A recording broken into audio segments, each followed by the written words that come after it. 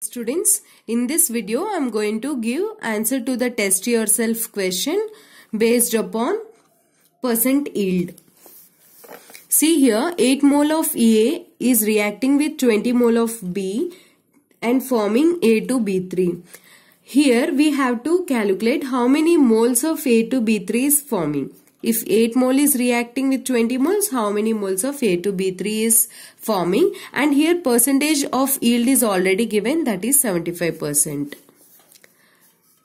First write the reaction. A plus B gives rise to A2B3 according to the question. Later, what I told you, just balance this. How many A's are there here? 2 and B 3.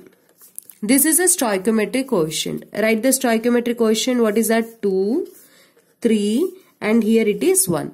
What is the ne next number of moles given in question? 8 moles and this is how many moles students? 20 moles of B and A, A2B3 we have to find. We have to find. Clear?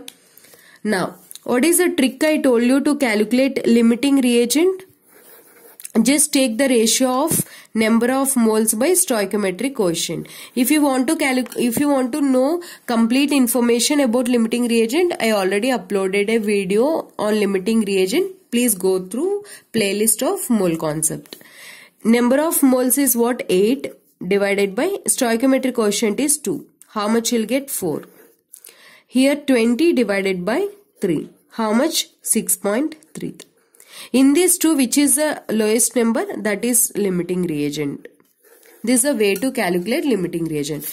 So A is the limiting reagent. So we have to take the relation between only A and the product, not with the B.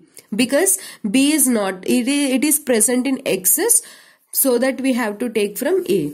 From this, we can say that 2 moles of A is forming 1 mole of B.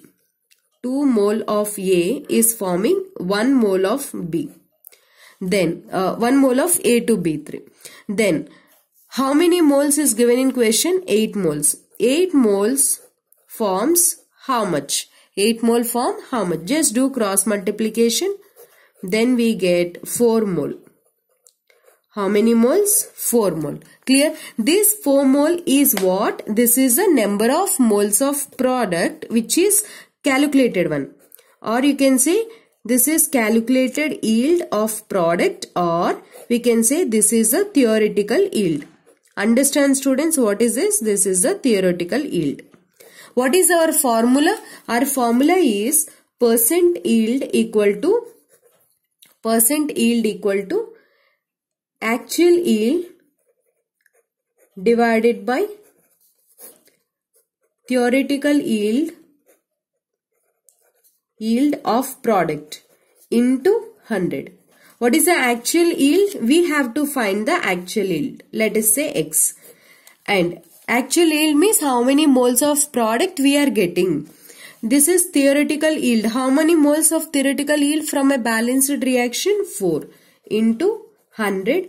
This is percent yield. How much is given in the question? 75%. Substitute that. Then X equal to 75 into 4 by 100. That's it. This is your answer. So what is your answer? 25 answer this. Actual yield is 3 moles. We expected 4 moles from the main reaction but we got 3 moles. This is the answer. I hope you like this video. Thanks for watching.